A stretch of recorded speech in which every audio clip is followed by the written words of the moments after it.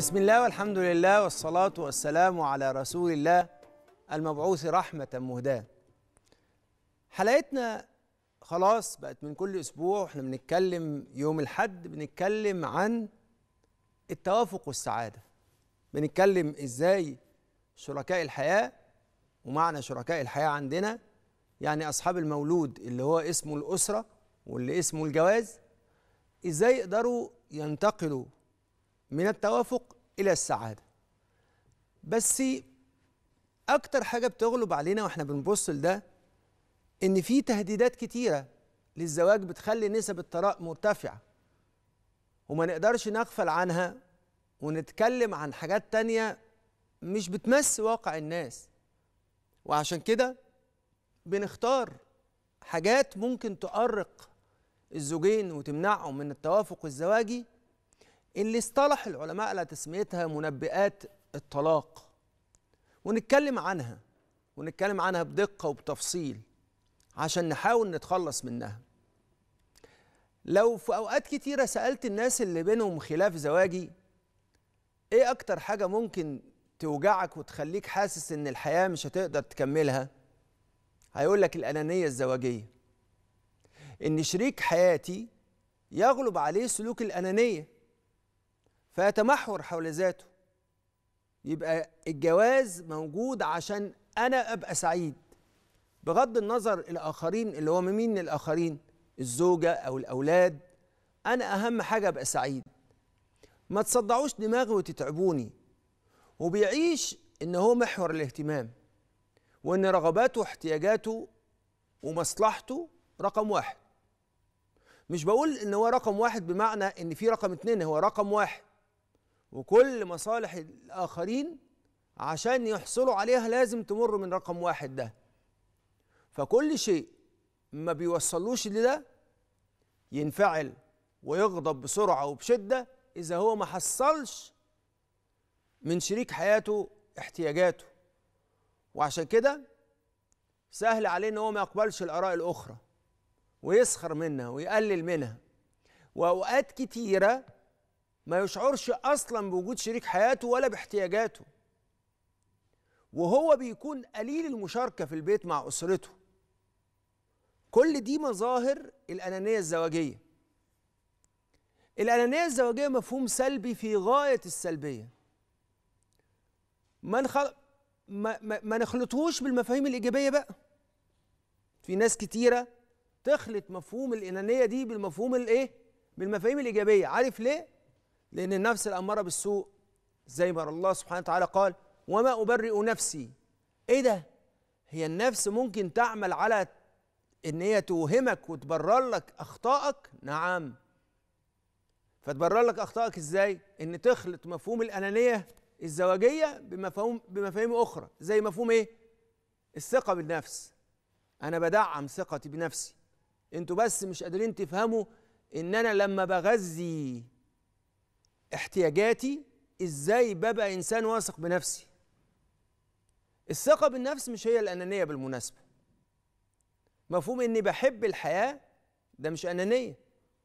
مفهوم إني بحب أكون في مرتبة أحسن وأتطور ده مش أنانية. تجد ده في قوله صلى الله عليه وسلم وحضرة النبي صلى الله عليه وسلم بيعمل حاجز بيننا وبين المفهوم الأكثر تمويلا لمفهوم الأنانية الزواجية اللي هو مفهوم الكبر والغرور اللي بيخلي الإنسان حاسس إن هو مقدم على الآخرين فمصلحته مقدمة على الآخرين. لكن حضرة النبي صلى الله عليه وسلم لما يجي يقول إن الشخص إذا كان في قلبه مثقال حبة من كبر لن يدخل الجنة. فيقول رجل يا رسول الله إن الرجل يحب أن يكون ثوبه نظيف ونعله نظيف. قال لا إن الله جميل يحب الجمال. ويتكلم في حديث أخرى حضرة النبي صلى الله عليه وسلم على إن الكبر بطر الحق وغمط الناس. يبقى إذن الشخص ده معاييره هي اللي تمشي على كل الناس. وعشان كده ناخد بالنا إن التضحية ما برضه بعض الأحيين هو بنحط الأنانية في مقابلة التضحية.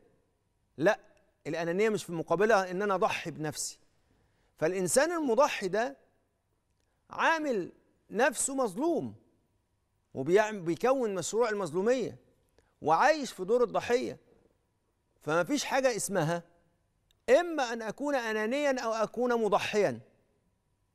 فمفهوم إن الواحد يضحي بنفسه ده فيصبح كالأضحية يصبح ضحية فيذبح نفسه من أجل الآخرين ده أحد المبررات للأنانية.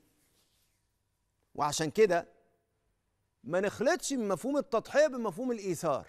لا مفهوم الإيثار مفهوم تاني. ويؤثرون على أنفسهم ولو كان بهم خصاصة. لا ده مفهوم تاني. مفهوم الإيثار واحد محب للحياة وللعطاء. وحاسس إن العطاء بيرقيه إلى الله ويترقى في درجات الإنسانية. والعطاء بيخليه إنسان فعال لكن التضحية بتعود عليه بالآلام والأوجاع والآثار السلبية على شخصيته. وعشان كده بنسمع كتير في, في أوقات الجلسات الإرشاد الزواجي عبارة أنا بضحي وهو مقابل السلوك الأناني يبقى التضحية بكل حاجة. آه هنا لازم نقول الكلام ده مش صحيح. ليه؟ لأن لو خلينا مقابل السلوك الأناني التضحية إيه اللي حاصل؟ ده هيغذي الأنانية. والأنانية هتغذي مفهوم التضحية. لا إحنا عندنا حاجة اسمها الاتزان. إن الإنسان لما يعطي يعطي بغير أن يهلك نفسه. يعني يعمل إيه؟ يؤثر. آه هو به خصاصة لكن ما يهلكش نفسه. وعشان كده لما أعطي في البيت لازم العطاء يكون تحت قيمة. ما يبقاش العطاء فقط من أجل العطاء. لا العطاء لازم يكون تحت عنوان وتحت قيمة. إحنا بنعمل كده عشان إحنا بنحبك. إحنا بنعمل كده عشان باعتبارك بابا إن إحنا محتاجين وجوده في حياتنا لإنك أنت الأبوة دي قيمة ما نقدرش نعيش من غيرها. فأقدر أركب كل المسؤوليات على معاني راقية فتبقى حياتنا مليانة بالمعاني والأخلاق الراقية. فأنا بنصح أي حد عايز يعمل اهتمام أو يعمل جزء من التدليل لشريك حياته يحطه تحت عنوان راقي. أنا بدللك عشان حقيقي مقدرك وحاسس بأهميتك في حياتي. فإحنا لازم نعمل كده. حقيقي إحنا عارفين إن أنت في حياتنا السند والحامي فإحنا لازم نقول كده. بس بيبقى سؤال بقى سؤال محير. طب نعمل إيه مع الشريك مع الشريك الحياة اللي بيغلب عليه صفات الأنانية؟ أول حاجة وبقول الكلام ده في كل في كل مكان أي حد بيتعامل مع شخص أناني أول خطوة إيقاف الابتزاز. لازم يوقف الابتزاز. لأن الشخص الأناني لو وصل وكان حالته عنده خصائص الشخصية النرجسية أو عنده حالة من حالات البارانويا بيكون شاعر بأن هو من حقه إن الناس تدور حوله. وبيبقى حريف وشاطر في الابتزاز. حريف إن يخلي الإنسان يحس إن هو وظيفته في الحياة إن هو يحافظ على سعادة الشخص الأناني ده. فيقول له هو أنت مش بتحبني؟ يقول له آه. يبقى خلاص. لازم تعمل مقتضى حبك ده. لا لازم بقول للشخص ده لازم نوقف الابتزاز. لأن الاستمرار في الابتزاز يهلك الإنسان. ولذلك حضرة النبي صلى الله عليه وسلم علمنا حاجة مهمة قوي إن الإيثار بيكون نابع من الإنسان نفسه لكن الابتزاز بيكون الإنسان بيعمله تحت ضغط لحد قادر ياخد الأشياء بسيف الحياة ولذلك حضرة النبي. حضرة النبي علمنا إن ما أخذ بسيف الحياء إيه اللي حاصل؟ فهو لا يبارك فيه ليه لا يبارك فيه؟ لأنه انتزع انتزاعا من الشخص. وعشان كده أوقفوا الابتزاز من الأشخاص الأنانيين. ما تستجيبوش لابتزازهم.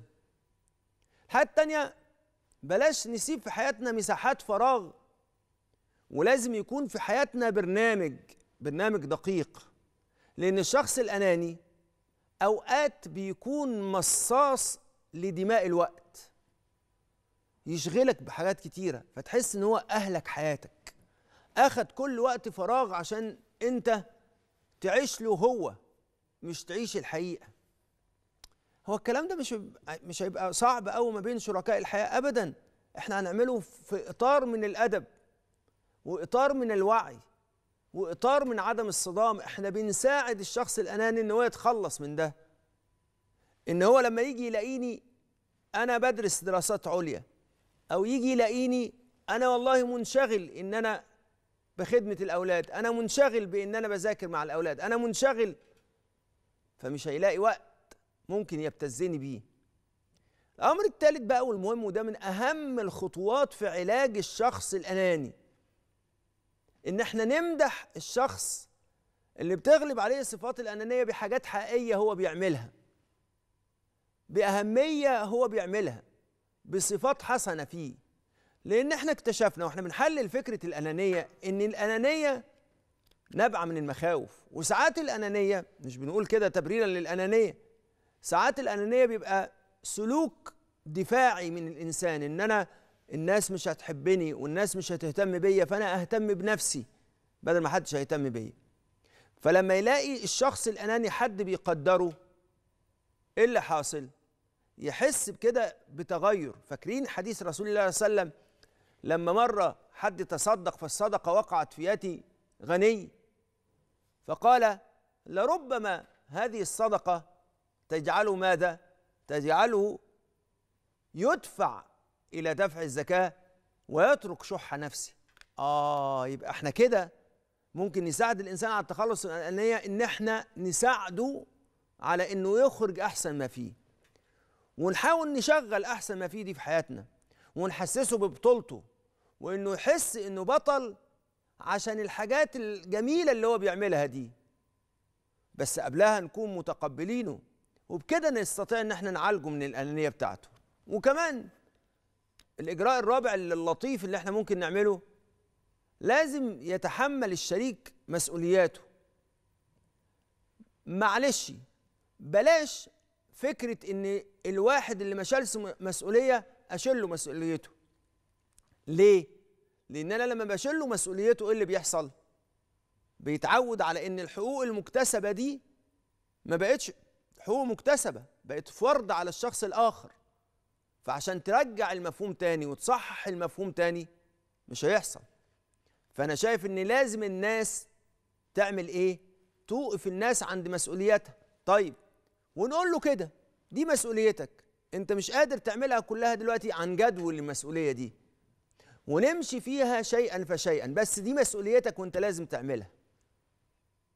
وما نخافش ساعتها إن الاجراء اللي إحنا بنعمله دوت ممكن يكون ليه أثر سلبي بس ده بيبقى ليه أثر إيجابي على الشخص. وساعات كتيرة الناس لما تتعافى من ال...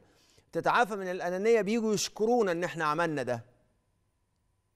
ولازم نتمسك بهذا الأمر. آخر إجراء عندنا ممكن نعمله الإجراء مع الشخص الأناني إن إحنا طول الوقت نقول له إن إحنا بنفصل ما بين حاجتين بنفصل ما بينك أنت وما بين الأنانية.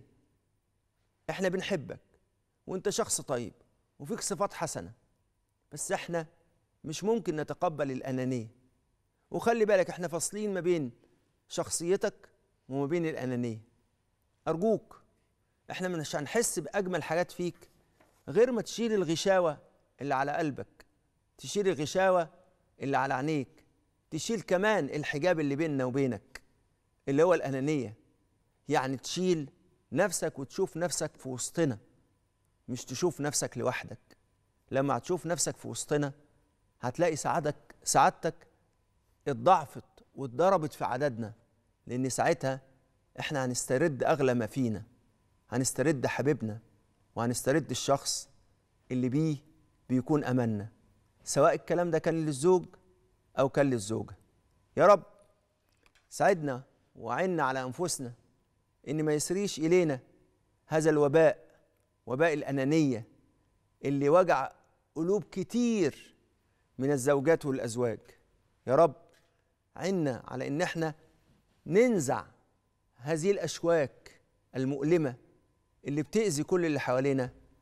واجعلنا يا رب ممن جبرت خاطرهم بأن جعلتهم لهم مدد من عندك يعينهم على أنفسهم بجمالك ومددك يا كريم. بعد الفاصل نلتقي بأسئلتكم المباركة حتى نجيب عليها ولكن بعد الفاصل. رجعنا لحضراتكم ومعانا صفحتنا على الفيسبوك صفحة برنامج ولا تعسروا اللي بنتلقى عليها أسئلتكم وتفضل جسر من نور يوصلنا بيكم وببركتكم وإن شاء الله يفضل على طول مجالس النور تفتح لنا باب على حضرة مولانا سبحانه وتعالى.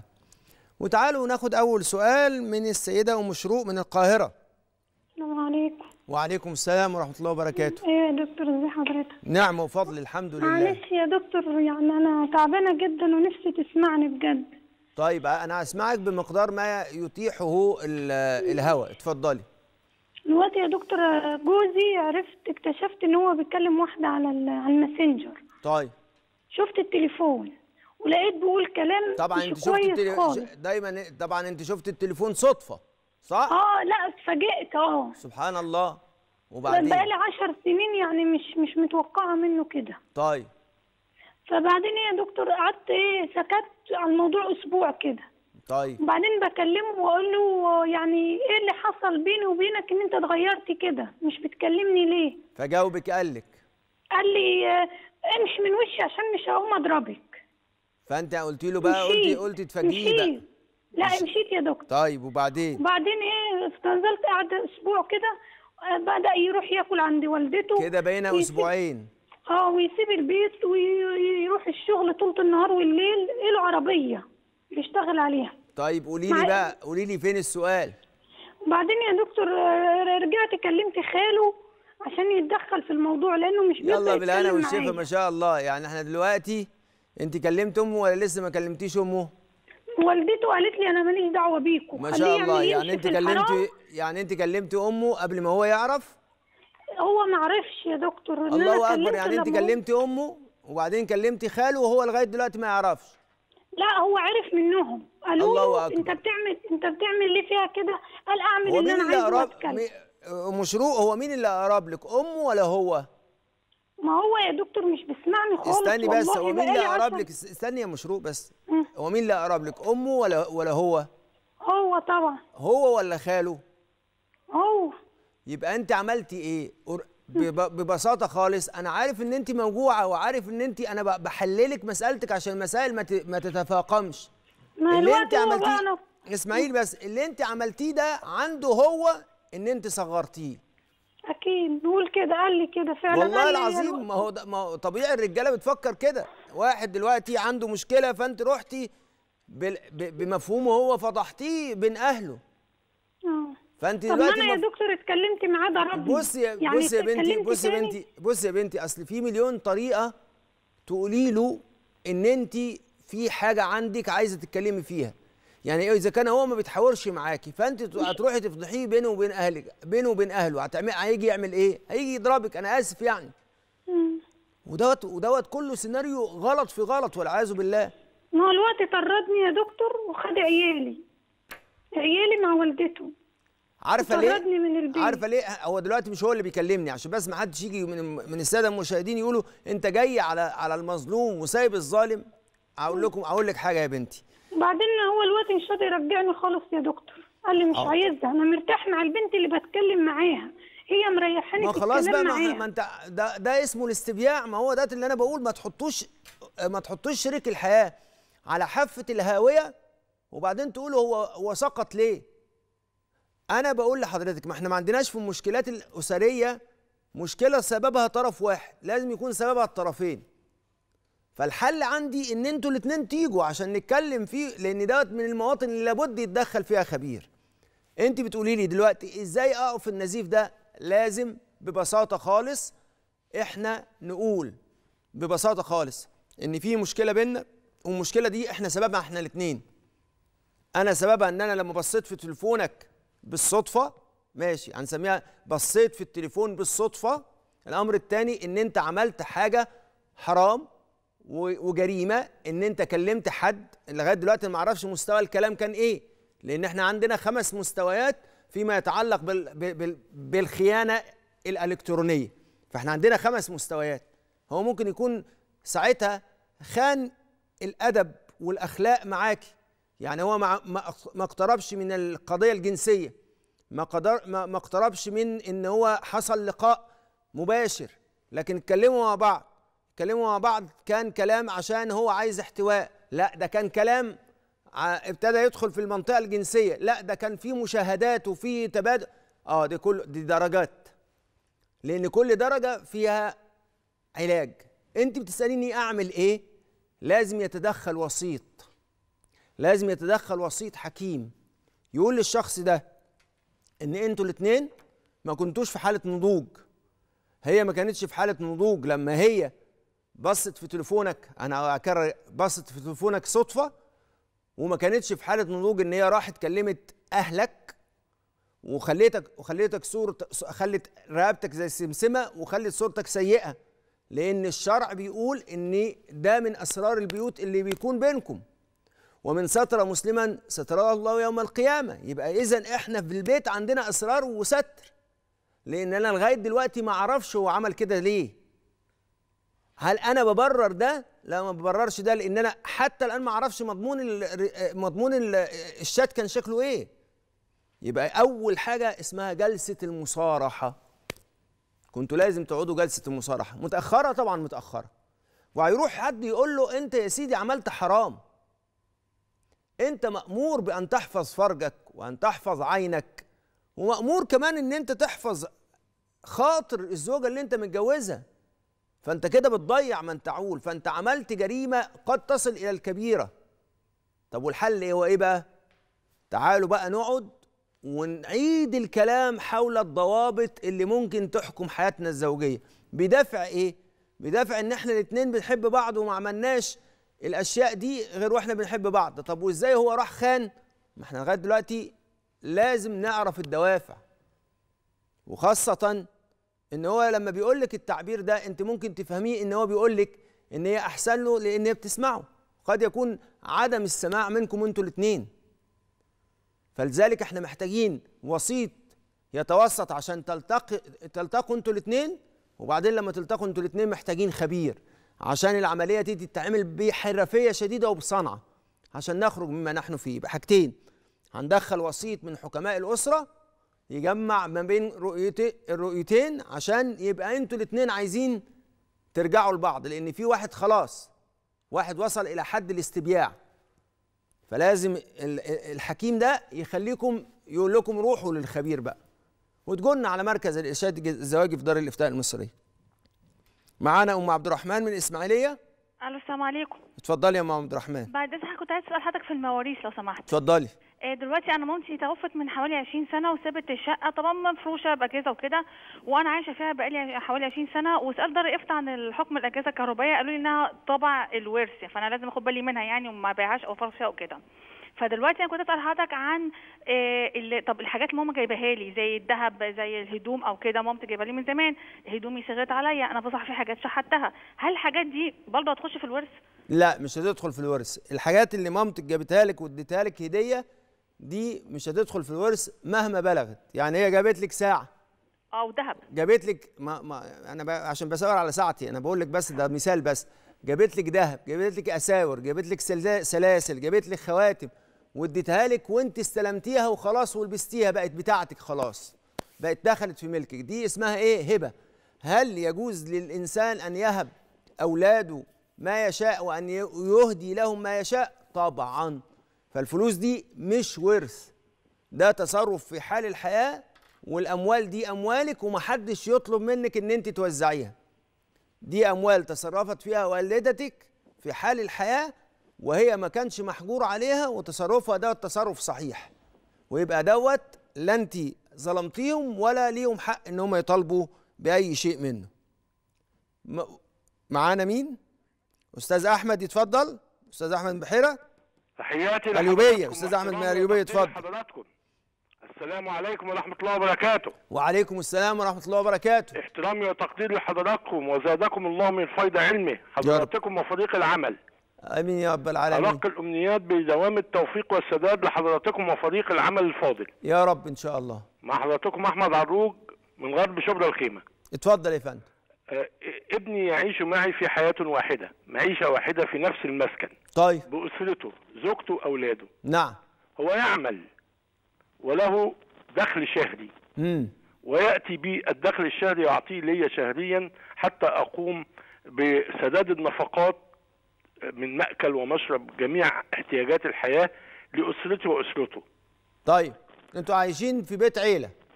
آه، حضرتك هي شقة.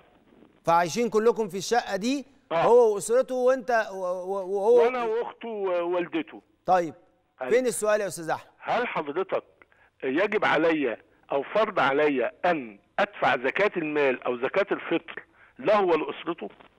لا أنت مش واجب عليك النفقة عليهم اولا خلاص هو استقل بحياته فواجب إن زي تدفعها ليه ولا تدفعها عنه لو تدفعها ليه لا إحنا ما بندفعش الزكاة لا للأصول ولا للفروع. يعني لا ندفعها للأولاد ولا للأحفاد. إذا كان من مصرف آه، الفقراء والمساكين. ولا ندفعها للأب للأب والجد. يعني مش هندي الزكاة ليهم. طيب هل بقى أنا ممكن أنا يجب علي إن أنا أدفع الزكاة عنهم؟ لا. ليه؟ لأن أنا مش يجب علي نفقتهم ولا أنا بنفق عليهم. بالعكس ده هم بيساعدوني في النفقة. يبقى ابنك يجب عليه إن هو يدفع زكاة أولاده اللي بيصرف عليهم وينفق عليهم وزوجته وزوجته. وكذلك هو عليه إن هو يخرج زكاة المال على ماله إذا بلغ النصاب وحال عليه الحول. لكن ما يجبش عليك إن أنت تدفع عنه الزكاه سواء كانت زكاة فطر أو زكاة مال. نعم. أستاذة مريم من اسكندرية تتفضل. ألو. أهلا وسهلا عليكم. عليكم. تتفضلي السلام عليكم ازيك يا شيخ عليكم السلام ورحمة الله وبركاته. كل سنة وحضرتك بخير. وحضرتك طيبة وبسلام أنا وبعافيه عايز أخد رأي حضرتك في حاجة. أنا عندي 38 سنة وجوزي أكبر مني بكتير يعني هو كل شيء نصيب يعني عنده 81 سنة. هم. فأنا خلفت منه يعني أولاد بس حياتي يعني معاه يعني هو مقتدر وكده بس في حكاية المصروف مثلا أقول له محتاجة مصروف يقول لي تعملي بيه إيه؟ أقول له يبقى معايا في شنطتي أخرج أروح عند أهلي كده. يعني مم. عنده حكاية ال- البخل يعني. طيب. مثلا أطلب حاجة يقول لي لا استني اصبري شوية لا ما أعرفش لا مصاريفك كتيرة لا ما أعرفش إيه. وساعات ببقى عيانة يعني دكتور أو حاجة أو دواء. يعني- مفهوم. فين السؤال بقى يا أستاذة مريم؟ أستاذة مريم؟ خط اتقطع؟ طيب أستاذة مريم ممكن تكلمينا مرة تانية وإذا كان الكلام أعمل إيه في الحالة بتاعتنا دي؟ خدي ما يكفيكي ولدك بالمعروف. إزاي بقى المعروف؟ إن إحنا البيئة اللي إحنا عايشين فيها ومستوانا الاجتماعي ده واحتياجاتنا بناخد بهذه المعايير وناخد ما يكفينا ما يكفيكي وأولادك بالمعروف. يعني مش هناخد فوق زيادة عن ده. ناخد ما يكفينا وأولادنا بالمعروف. نعم. أستاذ أحمد من القاهرة. السلام عليكم. وعليكم السلام ورحمة الله وبركاته أستاذ أحمد. أهلا بيك يا شيخ. أنا في عجاله كده هقول لك الموضوع. اتفضل. آه دلوقتي أنا والدي الله يرحمه كان آه، يعني شغال بره فأنا كنت متحمل الأسرة كلها. طيب يعني متحمل مسؤولياتها الاجتماعية. كله آه وهو بيديني مرتبه إن أنا أصرف عشان هو طبعا في الخليج فما ينفعش إيه هو بيدير طيب. وكنت ببني وجواز اخواتي وكل حاجة. والدتك. موجودة؟ ولا والدتك معاه موجودة. آه موجودين. طيب. فدلوقتي إحنا دلوقتي والدي توفى. رحمه الله. فبعد رحمه الله. فقبل ما يتوفى كان ب 11 سنة كان ساب الشغل. فأنا كنت برضو من شغلي كنت بنفس الموضوع ما حسستش حد إن مفيش فلوس. مم. وكنت متحمل الأسرة بالكامل. طيب. وكملت البنى بتاع ال- اللي كان واقف وكده. بعد كده بعد وفاته دلوقتي اخواتي بيقولوا لي إن إحنا لينا ميراث في كل اللي موجود. فهل ليهم ميراث؟ ولا ولا في الموضوع اللي أنا بنيته بتبقى بتاعي أنا؟ هي الأرض بتاعت والدي. تمام؟ بس. أنت لما بنيت أنت لما بنيت المباني دي كنت آه. بتبني المباني دي لوالدك ولا بتبني المباني دي ليك أنت؟ لا وهي باسمي أنا. يعني هي اللي كل الأوراق الرسمية باسمي أنا. يعني أنا اللي باسمك أنت ولا أنت آه. عندك توكيل عشان تدير المسألة دي؟ ولا هي لا باسمك بدون أنت توكيل. باسمك أنا أنت؟ أنا كنت بشتري أنا اللي اشتريه بس هي بما يرضي الأرض اشتريتها بفلوس والدي. وبنيت الدور الأرضي بفلوس والدي وكله شاهد على كده يعني. تمام؟ طيب. بس. فبعد كده كملنا بعد كده كملت أنا طبعا وخلصنا. تمام؟ طيب. بس وفي عمارة إحنا ساكنين فيها أنا وإخواتي اتجوزنا في حياه والدي فيها في كل شقة بيت عيلة يعني. تمام؟ واتجوزنا فيها. هل ليهم في الشقق؟ واحدة واحدة بقى يا أستاذ أحمد واحدة واحدة. خلينا دلوقتي إحنا عندنا في عمارة أولانية والدك بنى فيها الدور الأرضي وبعدين مم. أنت رحت مكمل البنى والعمارة دي مم. باسمك صح كده؟ تمام كده يا شيخ. وعندنا عمارة تانية. آه، ساكن فيها إخواتك كل واحد ساكن في دور. أيوه. صح كده؟ إخواتي الولاد أيوه. العمارة دي لما مم. كانت مبنية اتبنت بفلوسك برضو؟ لا ده فلوس والدي. خلاص اللي إحنا فيه تمام. العمارة اللي اتبنت بفلوس والدك دي ميراث قولا واحدا. امم خلاص؟ حتى اللي لو هم لو هو ساكنين جوزنا فيها. حتى لو مم. هم ساكنين ووالدك مم. ما ملكهمش هذه ال- الشقق فهم كانهم كأنهم كانوا عايشين في إيجار ووالدك متنازل عن الإيجار إلا إذا كان والدك كتب لهم عقود بيع وشراء. ده حصل.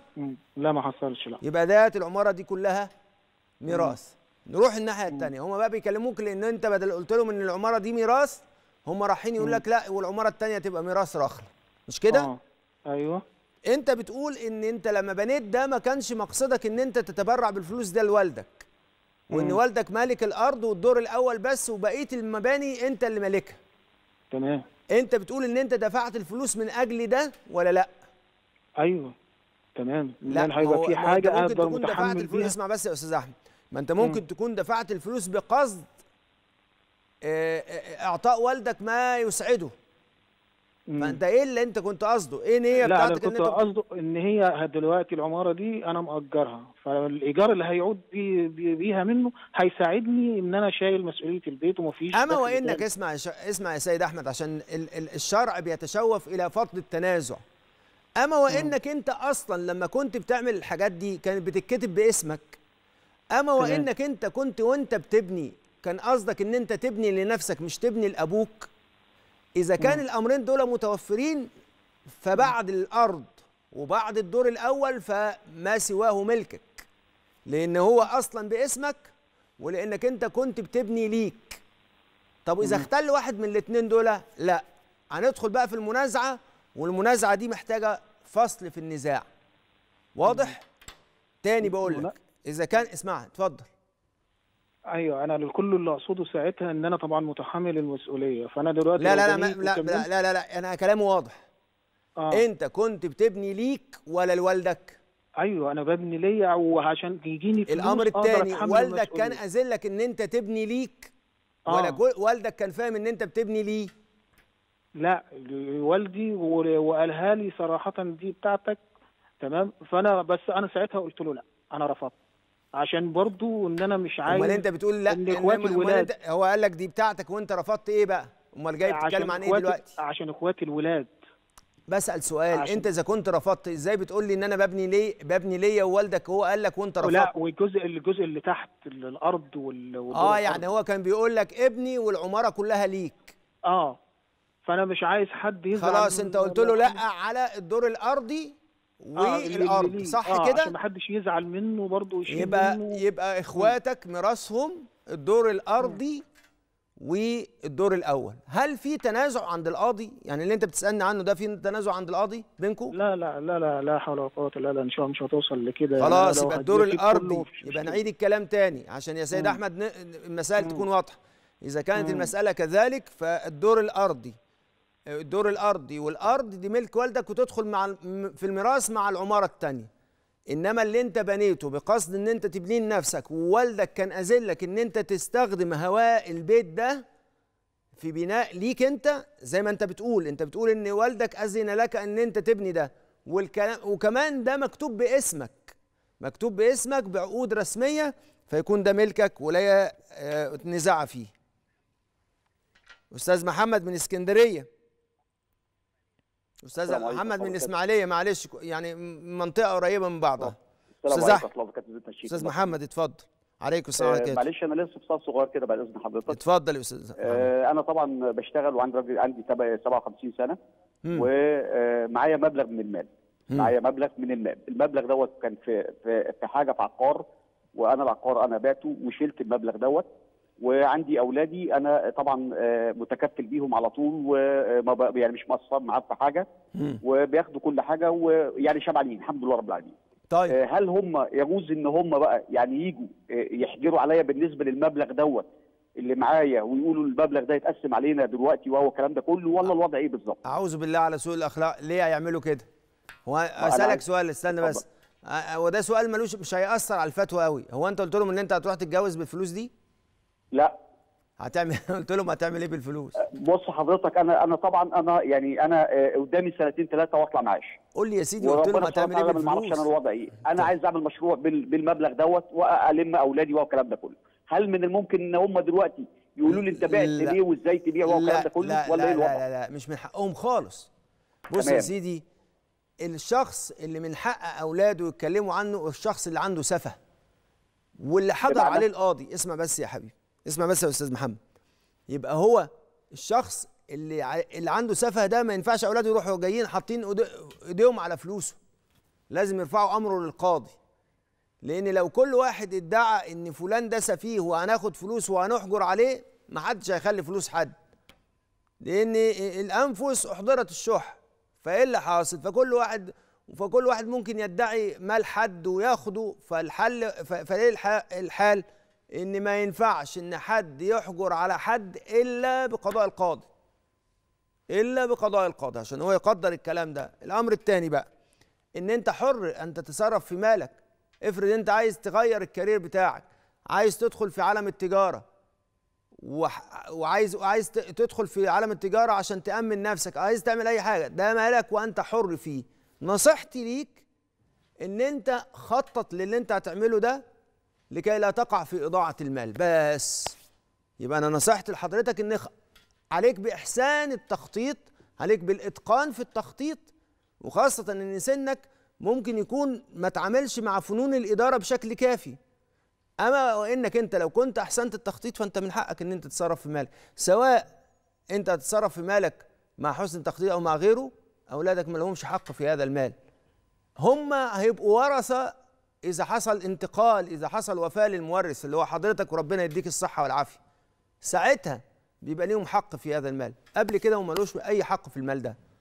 ولازم نعلم أولادنا بلاش الطريقة دي إن هم يحسسوا آبائهم إن هم كيس فلوس وإن هم عبارة عن خزنة. إيه اللي حاصل؟ الفلوس اللي عندك دي بتاعتنا. ويشيلوا الكلمة اللي كانت بتتقال زمان بعد عمر طويل. لا مش من حق حد يتصرف في مال حد ما دام حيا.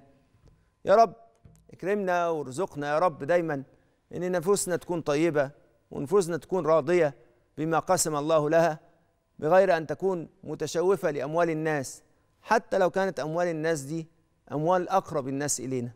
واجعلنا يا رب تخلو قلوبنا من الأنانية وتخلو قلوبنا من الشح ويخلو ويخلو كمان رؤيتنا من النظر في حق الآخرين. يا رب اجعلنا من القوة واجعلنا بمددك. نستطيع أن نتجاوز حجاب أنفسنا لنسعد أحبابنا ونسعد بسعادتهم. يا أرحم الراحمين يا أكرم الأكرمين يا رب العالمين.